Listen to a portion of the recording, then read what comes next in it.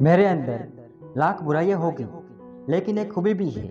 मैंने कभी अपने फ़ायदे के लिए किसी से धोखा नहीं किया। ये शिकायत नहीं, बल्कि तजुर्बा है कि कदर करने वालों की कोई कदर नहीं करता। दूसरों को अपने बारे में सफाइयाँ देकर अपना कीमती वक्त खराब ना करें, क्योंकि लोग उतना ही समझते हैं जितनी उनकी औकात होती है। गलत इंसान की वजह से कभी कभी पूरी दुनिया से ही नफरत हो जाती है। शेर के साथ रहोगे तो वो जीवन में संघर्ष करना सिखाएगा।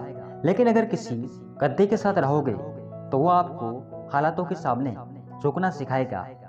ये पैसा भी अजीब चीज़ है, जिसके पास नहीं है, उसकी कोई इज़्ज़त नहीं, और जिसके पास है, उसे किसी की इज़्ज़त नहीं। दूरी कभी भी रिश्ते को नष्ट नहीं करती, और नजदीकियाँ कभी सबद नहीं बनाती।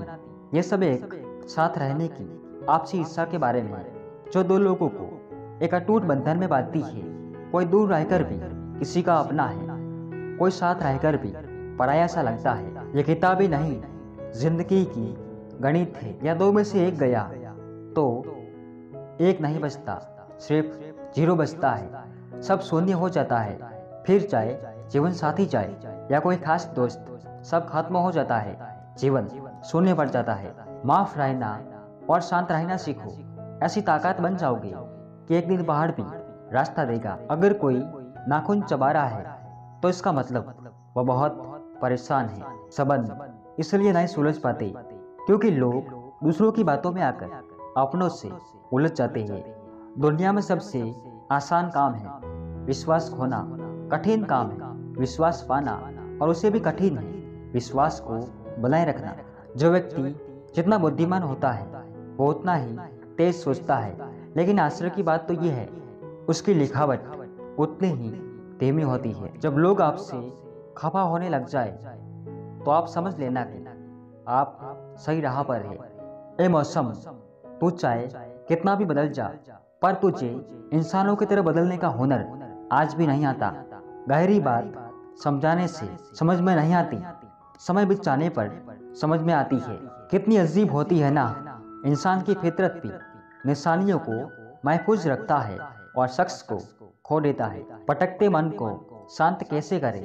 बीते हुए पल को कभी याद ना करे। खुश रहने के बारे में सोचे। कोई क्या कहता है और क्या कहेगा, ऐसा बिल्कुल भी ना सोचे। माता पिता के अलावा आपका कोई खास नहीं है। अपनी राज को कभी भी किसी से ना कहे। खुद को खुश रखने के बेहतरीन नियम। खुश रहने का पहला नियम लोगों पर हद से ज़्यादा भरोसा करना छोड़ दे। खुश रहने का दूसरा नियम, खुद के कामों को दूसरों से ना करवा कर खुद करो। खुश रहने का तीसरा नियम, छोटी सी बात को जरा सोच कर बड़ी मत बनाओ। खुश रहने का चौथा नियम, प्रकृति के साथ अपने मन और दिल को जोड़ने की कोशिश करें। खुश रहने का पांचवा नियम, अपने परिवार के साथ वक्त बिताएँ। कुछ अच्छी बुक्स पढ़े। खुश रहने का छठा नियम सुबह जल्दी उठना शुरू करें। सुबह के मौसम का आनंद लेना सीखें। खुश रहने का सातवां नियम, खुद को अकेला समझकर खुद से बात करना सीखें।